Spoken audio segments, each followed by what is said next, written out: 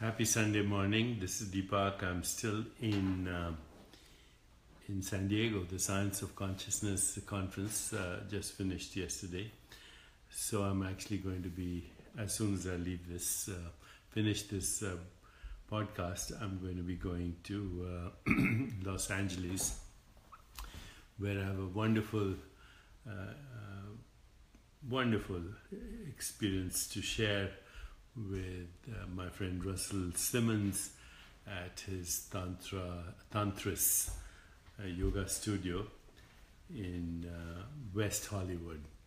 So I believe a lot of people have signed up and it's uh, sold out, and I'm really looking forward to it. I'm grateful for to Russell for having arranged that, and more on that later. But before I left, I thought I'd do today's uh, Q&A on uh, youaretheuniverse.com. The questions are coming in from You Are the Universe, Discovering Your Cosmic Self and Why It Matters. The book is written with my co-author, Menas Kafatos, who is a quantum physicist, cosmologist, and also a climate change expert. So today's question is from Liliana Devino. She says, Dear Deepak and Menas, I hope this finds you well. In You Are the Universe, you write on page 43, you are an island of order, turning into an energy consumer instead of an energy loser. And this is critical to understand. Could you please elaborate on this a little more? I feel many of us are trying to put out so much energy than we really are. Um, perhaps we are being energy losers rather than consumers. I have noticed that daily meditation, healthy diet, staying physically active, and integrating more positive words and actions have made a notable difference in my life. But I still feel often like a shadow of the energy being I've been uh, in the past. A shadow of the energy being uh, that I have been brightly in the past. Okay, great question from uh, Liliana Devinos. Let me uh, first uh, tell you something that uh, I actually declared to everyone yesterday, and I said that um, in about um, six months I'm going to totally reinvent my body. I said this on Twitter, it's now on YouTube, so I'm committed and uh, you can see me now and then see me six months from now. Okay, I'm reinventing my body. I have resurrected my soul, so that's the next step. And uh, more on that later. But I seriously mean this six months from now, you'll see a different body. Okay, so let's talk about um, let's talk about uh, the question that Liliana Devino has asked. If you use a physicalist ontology, ont- ontology means the nature of being or existence. If your map, if your conceptual framework, if your paradigm is um, that all is physical, then it's difficult to answer your question, Liliana. Although scientists do attempt to answer this question, they use the word neg- negative entropy or negentropy. And islands of order or life or biological organisms, every biological organism, plants, animals, humans, bacteria are in a sense islands of negative entropy okay because they use energy uh, to maintain their biological organism. Of course they dispense energy also so they both use it and lose it. An ideal uh, state of self-regulation or homeostasis would be where energy input and energy output um, um, stay in balance altogether, uh, stay in you know equal balance. So you have a what you call is the net is zero at the end.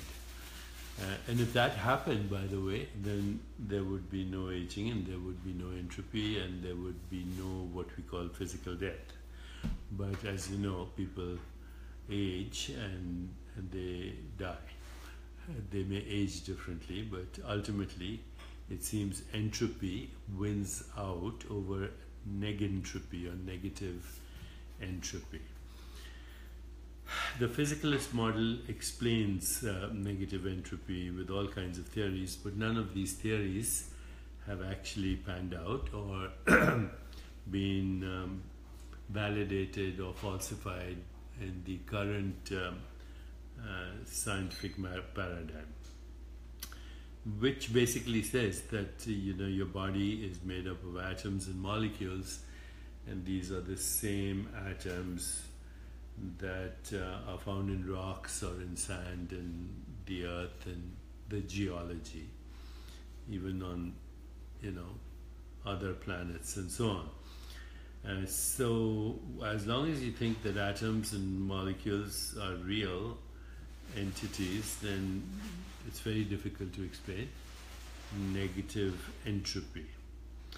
Uh, current models, uh, physicalist models, say that the universe is expanding due to something called dark energy, and that there are galaxies that are held together by gravity. So, dark energy is anti gravity, and dark matter, which we can't see invisible, is uh, the opposing force, which is gravity. And these two kind of are playing it out, they're kind of duking it out. If there was only dark energy and no gravity, then, which of course now we know is the curvature of space time, then the universe would rapidly expand and burn itself up in the heat death of absolute uh, zero. And if the opposite was true, there was only gra- gravity, then everything would collapse into a black hole. So there would be basically no universe. And the universe is the play between dark energy and dark matter. Okay, that's a whole another discussion based on a physicalist model that I don't buy. I think dark energy and dark matter are mathematical constructs, so we can um, fit them in into the standard model of physics and be all set. But everyone knows there are many problems right now with the standard model of physics, including the fact that the cosmological constant, dark energy, is off um, uh, in um, off, way off, to a magnitude of um, um 1 in 125 orders of magnitude. So we have lots of problems with the physicalist model. But if you change that, if you change that to the uh, model that we've been exploring here in You Are the Universe and in a lot of my books, including Quantum Healing, um, Perfect Health, Reinventing the Body, and so on, then you understand that the biological organism is just an experience in consciousness. And as such, it's an activity in consciousness, and as such, it is a conglomeration uh, of intermittent sensations, images, feelings, thoughts, sense perceptions. And um, in a 24 hour day, we experience that. We experience sensations, images, feelings, thoughts, sense perceptions, five senses. But we also experience thoughts and feelings and emotions and desires and instincts and drives and imagination and creativity and self reflection and all of that. In my book Super Brain and Super um, Genes with Rudy Tanzi, I've explored uh, how that happens. Um, based on a consciousness based understanding of our biology, as a biology is an activity in consciousness. So, how do you maximize negative entropy? Well, I've mentioned before, you maximize negative entropy by good sleep, ideally eight hours a day. uh, by not taking alcohol or any drugs that interfere with homeostasis. Almost all pharmaceuticals do.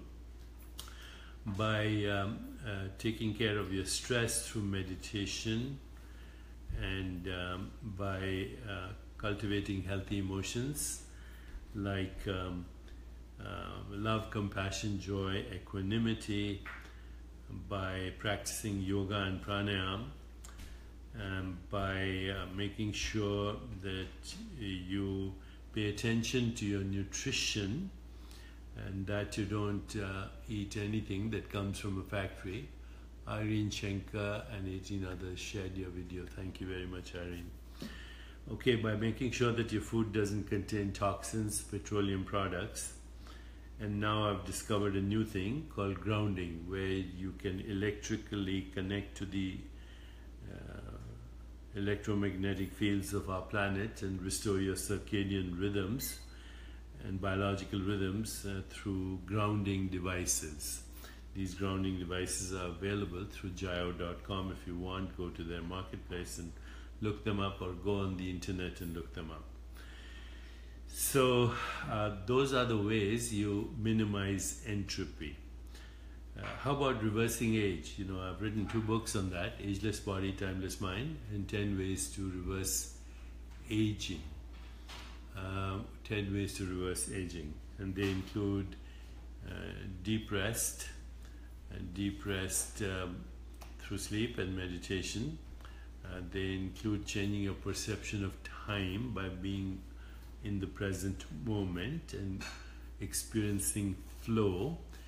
They uh, uh, include also changing your perception of aging itself. Don't take it as a given. Um, by changing your perception of the body from a physical thing to a field of energy, information, and ultimately consciousness, because it's a modified form of consciousness, just like a statue made of um, of ice is a modified form of water, water vapor, and ultimately uh, quantum particles. So once you change your perception of the body in those ways, aging, time, um, from physical object to consciousness, then that mindset will influence the aging process. And then the other 10 ways are mind body coordination, things I've mentioned, okay? Mind body coordination, yoga, pranayama, love as an experience, being in the moment, and um, uh, sometimes taking nutritional supplements. So many people have now inquired since I made this announcement. Uh, what am I doing? So, this is what I'm doing. Okay, number one, uh, I practice yoga and pranayama every day, seven days a week. It's about a 45 minute session.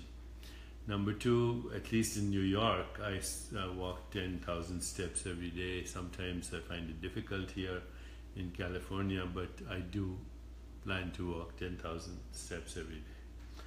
Number three, I meditate every day. Um, number four, during the yoga, of course, I also do pranayama so that's included. Um, I make sure that I sleep eight hours a day. I am uh, always at the moment, and I hope this will continue, having the experience of flow, which means no resistance, no no anticipation, no regrets, um, just this moment as it is and I am eating in a very healthy manner. I do take uh, probiotics to shift my microbiome, but I also drink things like kombucha. And I take a little bit of coconut oil every day, uh, which uh, has a great tradition in Ayurveda, and I'm now feeling that it does decrease your appetite, but also maximizes your energy and then uh, what else? I'm experimenting with CBDs. I'm sure you're familiar with CBDs, cannabinoids. These are cannabis derived uh, uh, compounds in which uh, the marijuana that is psychoactive has been taken out. and uh, then I make sure I take uh, one aspirin a day, vitamin D3 every day, and uh, I'm grounding every day. Okay, so that's it. Now I am predicting that this will uh, totally shift everything that's happening in my bio- biology. Now, overall, I've lived a healthy lifestyle, but this particular um, this particular focus right now with everything else grounding, cannabinoids, um, probiotics, um, vegetarian diet. Um, this emphasis is uh, pretty new, and grounding, of course, is very recent. So, here's one caution if you overdo anything, you actually um, becoming an energy loser. So, to maximize um, the energy that you have, uh, just uh, stay within the rules. Oh, one thing more I've started experimenting with uh, fasting for 24 hours once a week. It's going so well that I might increase it to twice a week. Uh, haven't decided yet, but I might. Okay, so those are uh, basically the key rules for reinventing the body. And uh, it does mean you need to first also resurrect your soul, get in touch with your innermost being, uh, which is the field of all possibilities, which um, um, basically empowers all these intentions and activities. Okay, so Thanks for asking the question, Liliana Devino. It came right on time, and I hope I have answered it. Thank you for all the encouragement and supporting you are the universe, discovering your cosmic self. And hopefully, I'll see you tomorrow, right here on Facebook Live. Thank you, and have a wonderful Sunday.